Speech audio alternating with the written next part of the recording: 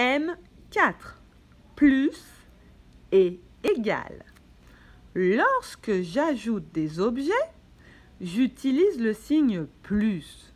Plus, c'est une addition. Donc, on a 4. 1, 2, 3, 4. On ajoute 2. 1, 2. 4 plus 2 est égal à 6. 4 plus 2. Quand on compte, 1, 2, 3, 4, 5, 6. 6. Lorsque j'avance sur la bande numérique, j'utilise le signe plus. Départ 2, 2, 2, 2, 2, plus 6.